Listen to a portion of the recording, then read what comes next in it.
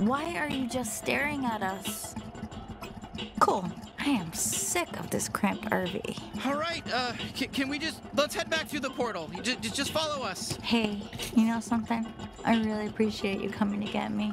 Of course, Lizzie. I mean, you, you, you're part of the team. You know, we, we wouldn't we wouldn't be anything without you. You know, you, you know your your little wiseacre quips and your your whole weird little side story thing that you did. I don't even you know, but yeah, you're you're you're important. Stop patronizing me. Okay, yep, yep. Sorry, no, I, I will. I'm gonna work on that. I'm still growing as a Gatlian. I'm not perfect. Can can we just go? Can we just get out of this Clive Barker fucking bloodbath fucking tunnel we're in? Can we just go? Yeah, let's.